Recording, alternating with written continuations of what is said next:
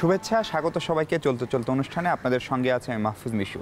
আর আজকে আমাদের অতিথি তত্ত্বাবধায়ক সরকারের সাবেক উপদেষ্টা বিশিষ্ট মানবাধিকার কর্মী এবং আইন ও সালিশ কেন্দ্রের নির্বাহী পরিচালক অ্যাডভোকেট সুলতানা কামাল। আপা স্বাগত আপনাকে। কেমন আছেন? ভালো আছি। আপা আমরা আপনার শৈশবের গল্প শুনতে চাই এবং আমরা জানি যে আপনার শৈশবটা আমাদের আর সবার শৈশবের চেয়ে একটু ভিন্ন হওয়ার কথা। কারণ আপনি আমাদের খুব প্রিয় মানুষ সুফিয়া কামালের সন্তান। সেই গল্প দিয়ে শুরু করতে চাই আলোচনা। শৈশবটা যে কথাটা দিয়ে আপনি শুরু করেছেন যে অন্য মানুষের থেকে হয়তো অনেকটাই ভিন্ন ছিল, সেই কথাটার মধ্যে অনেকখানি সত্যতা আছে এই কারণে যে যেই কথাটা আবারও আপনার মুখ থেকে উচ্চারিত হলো যে আমার মা ছিলেন সুফিয়া কামাল এবং আমার বাবা ছিলেন কামালউদ্দিন আহমদ খান, যিনি নিজেও একজন সাহিত্য অনুরাগী মানুষ ছিলেন, সাহিত্য চর্চা করতেন এবং পরবর্তী সময়ে আমার দেখা মানুষদের মধ্যে অন্যতম একজন বিদ্বান এবং খুবই সমাজ সচেতন একজন ব্যক্তি হিসাবে আমি তাকে পেয়েছি এবং আমার শৈশবটা কেটেছে কিংবা জন্ম হয়েছিল এমন একটা জায়গায় যেটার নাম ছিল তারাবাগ। সেই তারাবাগের আশেপাশে যে মানুষগুলির মধ্যে আমি জন্মগ্রহণ করেছি এবং বেড়ে উঠেছি একটু হয়তো নামগুলি বললে এখনকার নতুন প্রজন্মের কাছে তারা অনেকটাই অপরিচিত। হয়ে গেছেন কিন্তু তারপরেও কেউ কেউ কেউ এখনও ভালোভাবেই মানুষের স্মরণে আছেন। একদম প্রথম থেকে যদি ধরি প্রথম বাড়িটাই ছিল বুলবুল আহমদ যিনি চিত্রাভিনেতা ছিলেন তাদের পরিবার। তো তিনি যখন চিত্র অভিনয়ে এসেছেন বোঝাই যাচ্ছে যে তাদের পরিবারও অত্যন্ত প্রগতিশীল একটা পরিবার ছিল সংস্কৃতিবান পরিবার ছিল। তারপরের বাড়িটা ছিল লায়লা হাসান তার বোন ডেইজি। তারা তখন কচিকাচার মেলার সঙ্গে যুক্ত ছিল নৃত্যশিল্পী হিসাবে মানে উঠতি বয়সের এবং নাম করছে ডক্টর খান সরোয়ার মুর্শিদ নূরজাহান মুর্শিদ। তারপরের বাড়িটা বোধহয় ছিল আজিজুল হক নান্না মিয়া যিনি একজন রাজনীতিক ছিলেন। তারপরে তারাবাগের কাছাকাছি আসলে সিকান্দার আবু জাফরের কথা বলতে হয়। তার বাড়িটা আমাদের বাড়ি একই কম্পাউন্ডের মধ্যে ছিল কিন্তু আমরা একটু পিছন দিকের একটা ছোট বাড়িতে থাকতাম। এবং অপরদিকে যদি আমরা চিন্তা করি আবুল মনসুর আহমদের বাড়ি ছিল কামরুন নাহার লাইলি সেখানে ছিলেন বিবি রাসেলদের পরিবার। ছোটবেলা থেকেই আনোয়ারা বাহার চৌধুরী হ্যাঁ। একটা বিদ্যান লোকজনের হ্যাঁ একটা। ভীষণভাবে একটা এমন আলোকিত আলোকিত পরিবেশের মধ্যে আমি জন্মগ্রহণ করেছি এবং বড় হয়েছি। যে জন্য হয়তো পরবর্তী সময়ে এই কথাটা আসতেও পারে এই প্রশ্ন আসতেও পারে যে আমি ছোটবেলা থেকেই জেনেছি যে মানুষ তো মানুষের জন্যই। সেই যে একটা মৌলিক ধারণা সেটা কিন্তু আমার প্রায় জন্ম থেকেই শুরু হয়েছে। স্কুল ছিল আজিমপুর গার্লস স্কুল। তার আগে আমি পড়েছি কিন্তু লীলানাথ প্রতিষ্ঠিত নারী শিক্ষা মন্দিরে। আচ্ছা। সেখানে আমার প্রাথমিক শিক্ষাটা হয়েছে এবং পরবর্তী সময় যখন আমরা ধানমন্ডিতে চলে এলাম ওই এলাকা ছেড়ে এটা হাটখোলায় ছিল যেখানে আমি জন্মগ্রহণ করেছি। তখন আমরা বাধ্য হয়ে আজিমপুর গার্লস হাই স্কুলে। ভর্তি হলাম এবং সেখান থেকে আমার মেট্রিক পাস করা। তারপরে কলেজ বিশ্ববিদ্যালয়? কলেজ পড়েছি আমি হোলিক্রস কলেজে এবং ঢাকা বিশ্ববিদ্যালয় ইংরেজি সাহিত্যে। আপনার জন্ম আপা পঞ্চাশের দশকের শুরুর দিকে। একদম একদম শুরুর দিকে। তার মানে হচ্ছে আমাদের বাহান্ন আপনি এক- একদমই ছোট মানুষ সেটা মনে থাকার কথা না। কিন্তু তারপরের অন্যান্য যে স্বাধিকার আন্দোলন উনসত্তর একাত্তর সেগুলো তো মনে আছে। খুবই জীবন্ত। ওখানে তো একেবারে সরাসরি আমি অংশগ্রহণ করেছি। তবে বায়ান্নর যে স্মৃতিটা রয়েছে একেবারে শিশু বয়সের যে খালি পায়ে তখন কিন্তু আমরা জুতো পরে শহীদ মিনারে যেতাম না বাড়িতেই জুতো স্যান্ডেল রেখে যেতাম। ওই বাড়ি থেকেই ঘরে তখন তো ফুলও এরকমভাবে পাওয়া যেত না। বাড়িতে বাড়িতে যে ফুলগুলি তখন হতো এবং শীতকাল থাকতো সে সময় খুব বেশি ফুল পাওয়া যেত না। গাঁদা ফুলটাই বেশি হতো কিংবা শীতকালীন কিছু ফুল পাওয়া যেত সেই ফুলগুলি সংগ্রহ করে রাখা হতো এবং সকালবেলায় খালি পায়ে মায়ের হাত ধরে শহীদ মিনার আগে আমরা চলে যেতাম আজিমপুর। আচ্ছা, আজিমপুরে যে না আজিমপুর কবরস্থানে। আচ্ছা। সেখানে যে ফুল দিয়ে আজিমপুর থেকে হেঁটে হেঁটে শহীদ মিনারে এসে আবার বাড়িতে আসতাম এবং যখন হেঁটে হেঁটে যেতাম পাড়ার সব বন্ধু বান্ধবরা কিংবা যারা সেখানে সামিল হতেন সবাই মিলে আমরা আমার ভাইয়ের রক্তে রাঙানো গানটা গাইতে গাইতে পুরা রাস্তাটা দিয়ে যেতাম। সেই স্মৃতিগুলি এখন স্পষ্ট মনে আছে আমার কাছে। হ্যাঁ, তারপরে এই উনিশশো উনসত্তরের গণ অভ্যুত্থান বা বঙ্গবন্ধুর ছয় দফা ওই সময়গুলোতে তো আপনি একদম তরুণ। হ্যাঁ এবং কলেজ বিশ্ববিদ্যালয়ের বিশ্ববিদ্যালয়ের শিক্ষার্থী। আমরা জানি যে সে সময়ে ওই জেনারেশনটারই সবচেয়ে বড় ভূমিকা ছিল।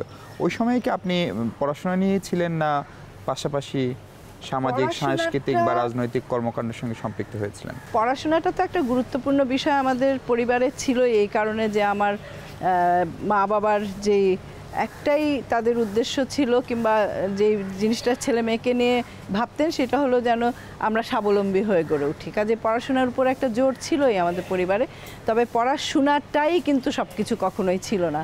যার কারণে আমরা ছোটবেলা থেকে কচিকাচার মেলা করেছি অন্যান্য সংগঠন করেছি সাংগঠনিক কাজে বাংলাদেশে তখন তো পূর্ব পাকিস্তান এবং অত্যন্ত কঠিন অবস্থার মধ্যে দিয়ে মার সঙ্গে সঙ্গে বিভিন্ন জেলা শহরে ঘুরে বেরিয়েছি নানা সাংগঠনিক কর্মকাণ্ড করেছি। আমি বিশ্ববিদ্যালয় সাংস্কৃতিক সংসদের সঙ্গে জড়িত ছিলাম বেশ ঘনিষ্ঠভাবেই জড়িত ছিলাম।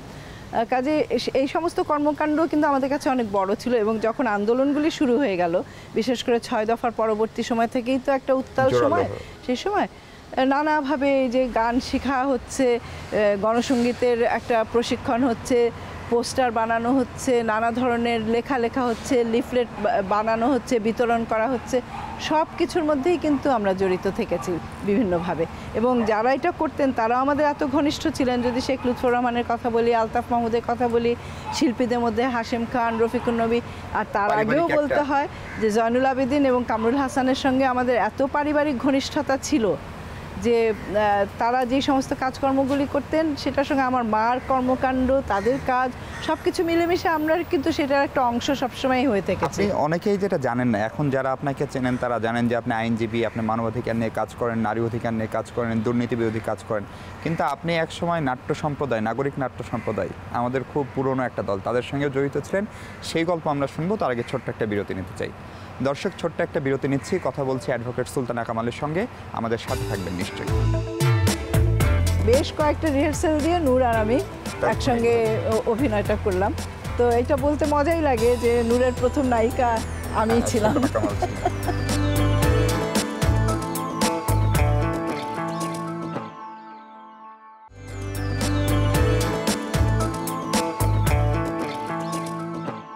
বিরতির পর স্বাগত আরও একবার। কথা বলছিলাম অ্যাডভোকেট সুলতানা কামালের সঙ্গে। আবার যেটা বলছিলাম যে আপনি একসময় নাটক করতেন এবং দেশের খুব বড় একটা নাটক দল, নাগরিক নাট্য সম্প্রদায়, তার হয়ে অনেক পারফর্মও আপনি করেছেন। নাটকে কীভাবে জড়ালেন এবং কেন জড়ালেন? আচ্ছা আমাদের সময় যেটা হতো যে সংস্কৃতির সঙ্গে কিন্তু রাজনীতির কিংবা সামাজিক আন্দোলনের একটা সরাসরি সম্পর্ক ছিল। এবং আমরা যারা অভিনয় করতাম কিংবা গান গাইতাম আমি তো প্রচুর কোরাস গানও করেছি। গলায় খুব জোর ছিল কোরাস গানে অনেক সময় আমাকে ঢুকিয়ে দেওয়া হয়েছে।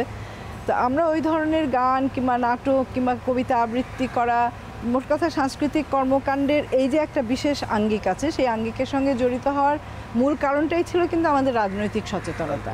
সেটার ভিতর থেকেই হয়েছিল কাণ্ডটা। তো নাগরিকের সঙ্গে আমি ষাটের দশক থেকেই আসলে জড়িত ছিলাম। নাগরিকের সঙ্গে আমি ইডিপাস নাটক করেছি টেলিভিশনে যেটার পরিচালনায় ছিলেন মুস্তফা মনোয়ার। তারপরে মঞ্চে যখন ওরা নাটক শুরু করল বাহাত্তরের পরে দর্শনের বিনিময়ে নাটক যে সেই সময় একটা খুব জোয়ার এলো আলী জাকেররা নতুন করে আবার নাগরিক গঠন করলেন, জিয়া হেদার ছিলেন, আতাউর রহমান, এরাই তো তখন নেতৃত্বে ছিলেন আবুল হায়াত। তো সেই সময় মেয়েরা তো খুব বেশি নাট্যচর্চার ভিতরে আসেনি। সেই পর্যন্ত তো যখন নাটকের প্রয়োজন হয়েছে যেহেতু আমি নাগরিকের একজন সদস্য ছিলাম এর আগে অভিনয় কখনো কখনো করেছি ওরকমই যে এই এই ভূমিকাটা করতে হবে একটু কর্ণা এসে সেরকম দিয়েছে। ভাবেই করেছি আমরা নাটক তো নাগরিকের বেশ কয়েকটা নাটকেই অভিনয় করেছি তো নাগরিকের নাটকের সঙ্গে একটা খুব মজার ঘটনা আছে যেটা এখনকার সময় আবার মানুষজনের খুব একটা আমোদ দিতে পারে কারণ আসাদুজ্জামান নূর এখন একটা সামনের দিকের মানুষ হিসাবে আছেন। নূরের যে ভূমিকাটা ছিল নাগরিকের প্রথম দিকে ও কর্মী হিসাবেই আমাদের সঙ্গে আমরা একসঙ্গে কাজ করতাম। তো সব নাটকের প্রম্পটিংটাও করতো। আচ্ছা। তারপরে একটা নাটকে আবুল হায়াত আর আমি ভূমিকা করতে অভিনয় করছি স্বামী স্ত্রীর ভূমিকায়। তো সেখানে একটা দৃশ্য ছিল যে দুর্বৃত্তরা আবুল হায়াতকে ঘুষি মেরে নাক ভেঙে দেয়। তো যেদিন আমাদের মঞ্চের মহড়া হবে স্টেজ রিহার্সাল যেটা বলে সেদিন সত্যিকার অর্থেই যিনি দুর্বৃত্তের ভূমিকায় ছিলেন তার নামটাও বলি সবার মজা লাগবে বাদল রহমান। এখন আমাদের প্রয়াত বন্ধু। বাদল রহমান এত জোরে তাকে ঘুষি মেরেছে যে নাক আসলেই ভেঙে গেছে। আবুল? হাতের নাক গেছে ভেঙে। এখন আবুল হাত এমনি তো একটু নার্ভাস মানুষ রক্ত টক্ত দেখলে ঘাবড়ে যান। এবং তার পরদিন সকালবেলায় কিন্তু মঞ্চে আমাদের যেতে হবে। হ্যাঁ মূল ভূমিকায় করছে। এবং আমরা তো মানুষজনকে জোর জবরদস্তি করেই টিকিট বিক্রি করেছি পুশ সেল যেটাকে বলতো সেই সময় যে এই টিকিট কিনো টিকিট কিনো বন্ধু বান্ধবরা আসলে তো লোকজন বিরক্ত হবে যে হায়াত মঞ্চে নাই। তখন কি করা যাবে? নাটক তো আর বাদ দেওয়া যাবে না। তো আলিজাকে সেটার পরিচালনায় ছিলেন। আলিজাকে তখন নূরকে জিজ্ঞেস করেন যে নূর তুই কি করতে পারবি এটা? তো নূর বলে হ্যাঁ আমার তো ডায়ালগ মুখস্থ আছে চেষ্টা করে দেখি। ওই নূরের সঙ্গে বেশ কয়েকটা রিহার্সেল দিয়ে নূর আর আমি একসঙ্গে অভিনয়টা করলাম। তো এটা বলতে মজাই লাগে যে নূরের প্রথম নায়িকা আমিই আহ, ছিলাম। মুক্তিযুদ্ধের সময়ের আপনার সবচেয়ে স্মরণীয় ঘটনা আমরা জানি যে আপনি একটি হাসপাতাল ক্যাম্প যেটি ভারতে মুক্তিযোদ্ধাদের সেবায় বা আহতদের সেবায় যারা পাকিস্তানি হানাদার বাহিনী এবং তাদের দেশীয় দর্শকদের দ্বারা হচ্ছে সেটি করেছিলেন ওই সময়ের কোনো স্মৃতি নিশ্চয়ই মনে আছে? স্মৃতি বলতে যেটা হয়েছে যে মানুষের যে বিভিন্নভাবে মুক্তিযুদ্ধে অংশগ্রহণ করার আকুতি আমি একাকে সেখানটায় বার করে দেখতে পারি না।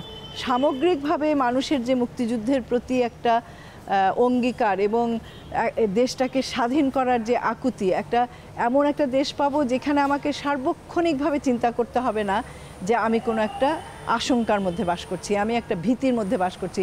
আমার বাক স্বাধীনতা নাই, আমার চিন্তার স্বাধীনতা নাই, আমার বিশ্বাসের স্বাধীনতা নাই। যার অনেক কিছুই আমরা বলবোই যে এখন পর্যন্ত হয়তো সেইভাবে অর্জন করতে পারি নাই, কিন্তু অর্জনের পথে তো আমরা এসেছি। মুক্তিযুদ্ধ পরবর্তী সময় যে আমাদের ভূখণ্ডের স্বাধীনতাটা একটা বিরাট বড় ব্যাপার ছিল। কিন্তু সেখানেই তো আমরা সব কিছু শেষ করে দিতে চাই নাই কারণ আমরা বলেছি স্বাধীনতার যুদ্ধ মুক্তির যুদ্ধ। মুক্তির কাজগুলি তো এখনও অনেকটাই আমাদের রয়ে গেছে যেটা আমরা করে যেতে হবে। তত্ত্বাবধায়ক সরকার একটি নির্বাচনকালীন সরকার ব্যবস্থা। সেই সরকারে অন্তর্ভুক্ত হলেন যখন রাষ্ট্রপতি ইয়াজউদ্দিন আহমেদ তখন দায়িত্বে।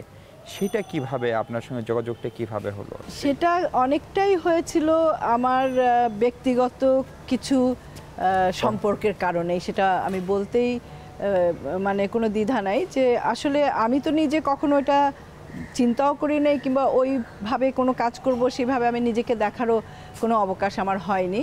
কিন্তু একেবারে যেদিন সরকার গঠন হয়েছে, সেদিন সকালবেলায় কিন্তু আমি জানতে পেরেছি যে আমার নাম পাঠানো হয়েছে এবং আমার কাছে এইভাবে বার্তাটা এসেছিল যে এখন পর্যন্ত চূড়ান্ত হয়নি ঠিকই, কিন্তু চূড়ান্ত যদি হয়, আপনি যেন অবশ্যই এটাতে অংশগ্রহণ করেন।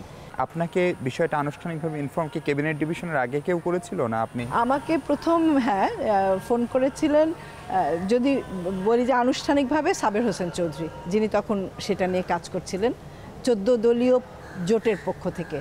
এবং আমাকে যেই কথাটা বলা হয়েছিল এটাও আমি একটুখানি ভাগ করে নিতে চাই আপনাদের সঙ্গে। আমাকে যেই কথাটা বলা হয়েছিল যে আপনি এক- একমাত্র ব্যক্তি যাকে চোদ্দ দলের সবাই বলেছে হ্যাঁ। আচ্ছা তার মানে তখন যে দুইটা জোট সেই দুইটা জোটের পক্ষ থেকে তত্ত্বাবধায়ক সরকার গঠনের জন্য যে নাম চাওয়া হয়েছিল। সেখানে আওয়ামী লীগ বা চোদ্দ দলীয় জোটের পক্ষ থেকে আওয়ামী লীগ থেকে আমার নামটা প্রস্তাব করা হয়েছিল। আমাকে 14 দল যেভাবে বলা হয়েছিল যে চোদ্দ দলের মানে আপনি একমা এইভাবে কথাটা যে আপনি না করতে পারবেন না কারণ আপনি একমাত্র ব্যক্তি। যাকে চোদ্দ দলের সবাই বলেছে যা- চাই। এবং তারপরে আমরা জানি যে সেই তত্ত্বাবধায়ক সরকার সম্ভবত বাংলাদেশের যে কয়টি তত্ত্বাবধায়ক সরকার তার মধ্যে সবচেয়ে আলোচিত এবং সমালোচিত ব্যর্থ বলা যায়। কেন ব্যর্থ হয়েছিল সেই গল্প আমরা আপনার কাছ থেকে একটু শুনব। তার আগে আবার একটা বিরতি নিচ্ছি। দর্শক আবারও একটা ছোট্ট বিরতি নিচ্ছি। আমাদের সাথে থাকবেন নিশ্চয়ই কথা বলব অ্যাডভোকেট সুলতানা কামালের সঙ্গে। হাসিনা যে স্কুলে পড়তেন সেই স্কুল থেকেও কিন্তু তাকে বার করে দেওয়া হলো। বঙ্গবন্ধুর কন্যা স্কুল কর্তৃপক্ষ তাকে রাখবে না স্কুলে। তখন আমার মা হাসিনাকে নারী শিক্ষা মন্দিরে আমার সঙ্গে ক্লাস থ্রিতে ভর্তি করে দিয়েছিলেন এবং সেই থেকে আমাদের বন্ধুত্বের সূচনা।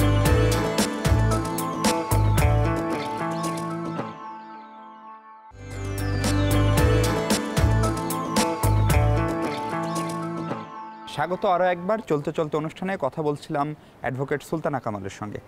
আপনি তত্ত্বাবধায়ক সরকারের সঙ্গে আপনার সম্পৃক্ত হওয়ার গল্পটা আপনার শুনছিলাম এবং আপনি যেমনটা বললেন যে ওই সময়ে তৎকালীন বিরোধী দল সেই সময় যারা ছিলেন অর্থাৎ আজকের ক্ষমতাসীন দল আওয়ামী লীগের পক্ষ থেকে আপনার নামটা মনোনীত করা হয়েছিল।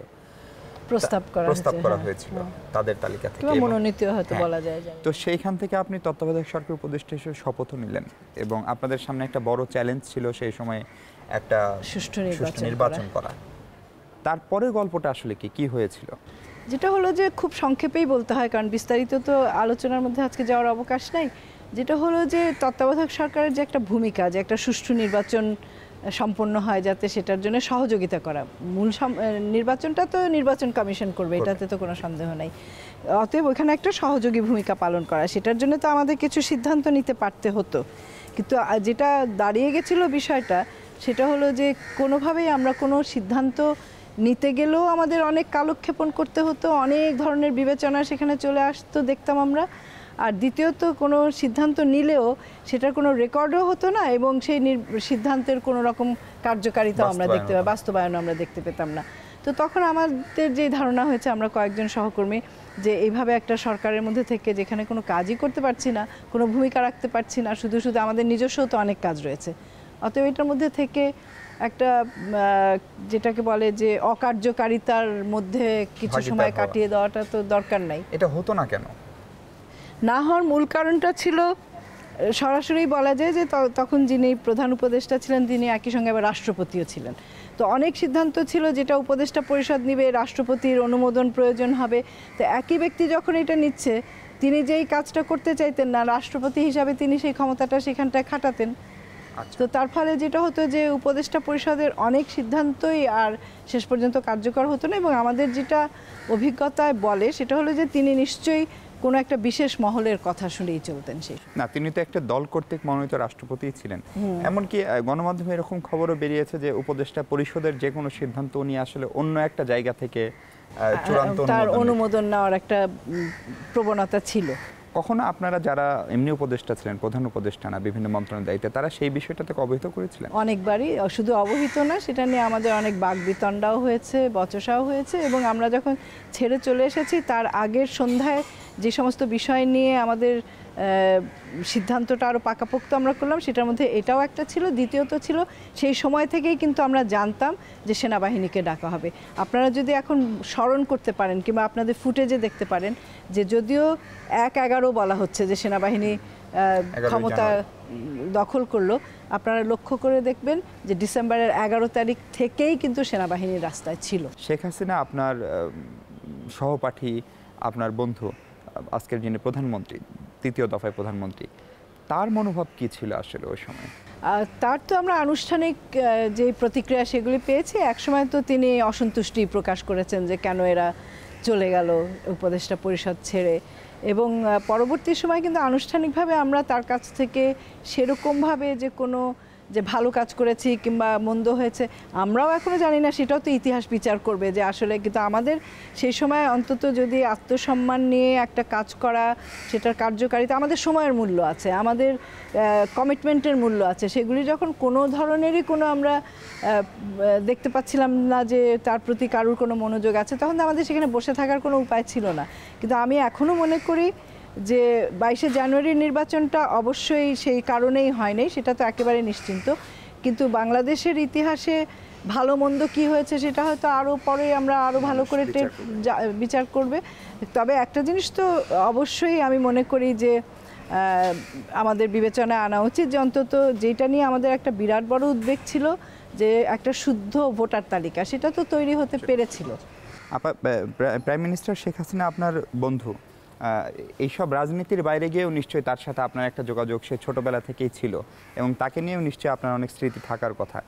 কোনো একটা ঘটনা যদি মনে পড়ে আপনার?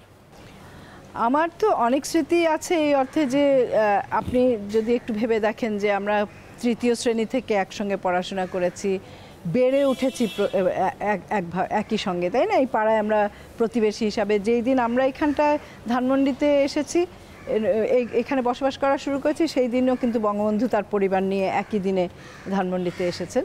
তো আমাদের প্রতিদিনকার আসা যাওয়া আমরা একসঙ্গে স্কুলে গেছি, একসঙ্গে ছায়ানটে গেছি। ছায়ানটে আমাদের যার যা শেখা ছিল, আমি এসরাত শিখতাম হাসিনা, খুব সম্ভবত বেহালা ছাত্রী ছিলেন। তো এইভাবে আমরা একসঙ্গে তো অনেক সময়ই কাটিয়েছি।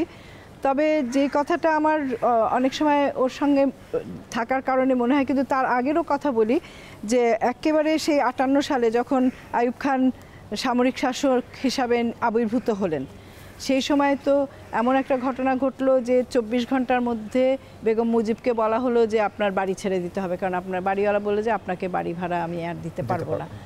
তখন কিন্তু আমার মায়ের সঙ্গে প্রথম পরিচয় হয় তাদের পরিবারের তো আমেনা বেগম ছিলেন তখন আওয়ামী লীগের দায়িত্বে। তিনি নিয়ে এলেন বেগম মুজিবকে এবং এসে বললেন যে, আপা, এই আপনার একটু যদি সাহায্য লাগে এখানটায়, কারণ বেচারি যাবে কোথায় বাচ্চা কাচ্চা নিয়ে?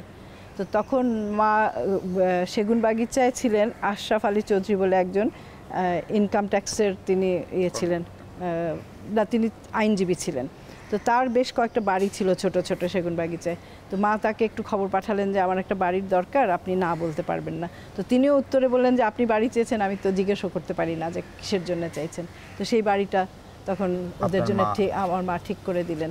তার পরপরই যে ঘটনাটা ঘটলো যে হাসিনা যে স্কুলে পড়তেন সেই স্কুল থেকেও কিন্তু তাকে বার করে দেওয়া হলো। আজিমপুর না তখন কিন্তু বাংলা বাজার খুব সম্ভবত আমার এত আগের কথা তো মনে নেই কোনো একটা কিন্ডার গার্ডেন স্কুলে হাসিনা তখন তো একেবারেই শিশু। সেই স্কুল থেকেও তাকে আটান্ন সালে স্কুল থেকে বার করে দেওয়া হলো। বঙ্গবন্ধুর। কন্যা স্কুল কর্তৃপক্ষ তাকে রাখবে না স্কুলে। তখন আমার মা হাসিনাকে নারী শিক্ষা মন্দিরে আমার সঙ্গে ক্লাস থ্রিতে ভর্তি করে দিয়েছিলেন এবং সেই থেকেই আমাদের বন্ধুত্বের সূচনা। আচ্ছা। তো সেই যে মানে স্বৈর শাসনের কোপানলে যে আটান্ন সাল থেকে তারা পড়েছে সেটা তো তাদের উপরে শেষ হয়নি। একেবারে শেষ হয়তো বলতে পারি যেটা নিয়ে এখনও আমার ভীষণভাবে আমি কি বলব যে ভীত সন্ত্রস্ত বোধ করি সেটা হলো যে একুশে আগস্টের ঘটনা তার উপরে যে গ্রেনেড হামলা। তো সেই দিক থেকে চিন্তা করলে বর্তমান প্রধানমন্ত্রীর প্রতি আমার যে কিংবা তার সঙ্গে যে আমার ব্যক্তিগত সম্পর্ক সেই সম্পর্কের সূত্র ধরে তো প্রতিনিয়ত তার নিরাপত্তার জন্য আমার একটা চিন্তা আছেই। তার শাসন ব্যবস্থা তার প্রধানমন্ত্রীর ভূমিকা সেটা ভিন্ন ব্যাপার। আপা, আপনি মুক্তিযুদ্ধ করা মানুষ, আপনি মুক্তিযুদ্ধ দেখা মানুষ, তারপরে বাংলাদেশের প্রত্যেকটা বিবর্তন, সংগ্রাম, সেটা নারীর ক্ষমতায়ন, মানবাধিকার রক্ষা, সেগুলোর সঙ্গে জড়িত। এবং আপনারা যারা ওই সময়ের মানুষ, মুক্তিযুদ্ধের আগের মানুষ, তাদের কাছে বাংলাদেশের স্বাধীনতা একটা বড় অর্জন, একটা বড় প্রত্যাশার জায়গায় ছিল। আজকে প্রায় পঁয়তাল্লিশ বছর পরে এসে সেই সময়ের সুলতানা কামাল যে স্বপ্ন দেখেছিলেন বাংলাদেশকে নিয়ে প্রশ্ন যদি করা হয়, সেই স্বপ্ন কতটুকু পূরণ হয়েছে? অনেকটাই পূরণ হয়েছে। আজকে যে আমরা একটা স্বাধীন দেশের স্বাধীন নাগরিক, সেটাও তো একটা বিরাট বড় অর্জন আমাদের, তাই না? এবং এটার জন্য যেইভাবে আমরা যুদ্ধ করেছি, আমার মতে বাংলাদেশের মুক্তিযুদ্ধ ছিল প্রকৃত অর্থে একটা জনযুদ্ধ, কিছু কুলাঙ্গার। যারা আজকে যুদ্ধ অপরাধের অপরাধে অভিযুক্ত হয়ে কিংবা মানবতা বিরোধী অপরাধের অভি- অপরাধে অভিযুক্ত হয়ে বিচারে মধ্যে রয়েছে তারা ছাড়া প্রতিটি মানুষ তখন মুক্তিযুদ্ধে অংশগ্রহণ করেছে। এটা যে কত বড় একটা বড় অভিজ্ঞতা এবং অনুপ্রেরণা আমাদের জন্যে এটা তো ঠিকই যে একটা যুদ্ধ পরবর্তী সমাজে তাৎক্ষণিকভাবে কিন্তু সব কিছু অর্জিত হয়ে যায় না। কিন্তু বাংলাদেশ তো বহু কিছুই অর্জন করেছে এবং আমার মনে হয় যে পঁচাত্তরের এই ধরনের একটা ঘটনা যেখানে আহ, মুক্তিযুদ্ধের যিনি অবিসংবাদিত নেতা যে নেতৃত্ব দিয়েছেন যিনি মানুষের সঙ্গে সঙ্গে পথ চলেছেন মানুষের মনোভাব মানুষের চিন্তা মানুষের আশা আকাঙ্ক্ষাকে ধারণ করে নিজের স্বপ্ন হিসাবে সেটা আবার তৈরি করে নিতে পেরেছেন। সেই মানুষটাকে হত্যা করে ফেলার পরে তো শুধুমাত্র যে রাজনৈতিকভাবে কিছু পট পরিবর্তন হয়েছিল তা তো না আমাদের তো সমস্ত কিছুর উপরে হস্তক্ষেপ করা হয়েছে। এমনকি এই মুক্তিযুদ্ধের যে মূল নীতি ধর্মনিরপেক্ষতা প্রত্যেকটা মানুষের সম্পদের উপরে যে সমান অধিকারের বিষয় আছে সমান মর্যাদার বিষয় আছে প্রতিটা ক্ষেত্রেই তো হস্তক্ষেপ করে একেবারে বিপরীতমুখী কিছু চিন্তা ঢুকিয়ে দেওয়া হয়েছে। যুদ্ধ অপরাধী হিসাবে আজকে যারা চিহ্নিত হয়েছে মুক্তিযুদ্ধ বিরোধী শক্তি ছিল তাদেরকে পুনর্বাসিত করা হয়েছে। তারা মন্ত্রী হয়েছে। লাল সবুজ পতাকা তাদের গাড়িতে লাগিয়ে ঘুরে বেরিয়েছে এবং আর্থ সামাজিক সাংস্কৃতিক রাজনীতিক প্রত্যেকটা ক্ষেত্রে কিন্তু তারা তাদের প্রভাব বিস্তার করতে পেরেছে, যেটার ফলশ্রুতিতে আমরা এখন পর্যন্ত মুক্তিযুদ্ধের আরাধ্য যেই বিষয়গুলি ছিল, সেটা অর্জন করতে প্রতি পদে বাধাগ্রস্ত হচ্ছে। কিন্তু আশা করছি যে সেটা আমরা কাটিয়ে উঠতে পারব, কারণ বাংলাদেশের মানুষ কোনো দিনই কোনো অগণতান্ত্রিক, জঙ্গিবাদী মানুষের অধিকার এবং সম্মানের কোনো রকম পরোয়া করে না, এরকম শক্তিকে সমর্থন দেবে না। আপা আপনাকে অনেক ধন্যবাদ আমাদের সময় দেওয়ার জন্য। দর্শক শেষ করতে হচ্ছে আজ। অ্যাডভোকেট সুলতানা কামাল যে বাংলাদেশের কথা বলছেন যে বাংলাদেশ কোনো দিন সাম্প্রদায়িকতার কাছে মাথা নত করবে না। যে বাংলাদেশ গণতান্ত্রিক হবে সেই বাংলাদেশ নিশ্চয়ই খুব বেশি দূরে নয়। মুক্তিযোদ্ধা সুলতানা কামালের সেই স্বপ্ন বাস্তবায়ন হোক সেই প্রত্যাশায় শেষ করছে আজ। ভালো থাকবেন সবাই।